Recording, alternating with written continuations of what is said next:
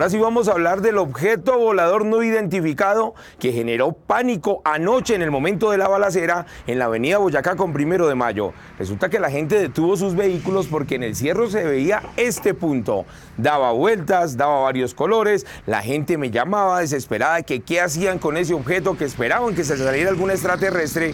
Pero lo cierto fue que después de las 10 de la noche, la Policía Nacional nos confirmó que efectivamente era un dron un dron, señores, no era ningún nave, una nave que venía de otro planeta, sino simplemente un dron de la policía que estaba haciendo rondas por ese sector y a propósito del operativo que estaban haciendo en el sector de Puente Aranda. Pero eso sí, hubo pánico en la localidad de Kennedy por este objeto.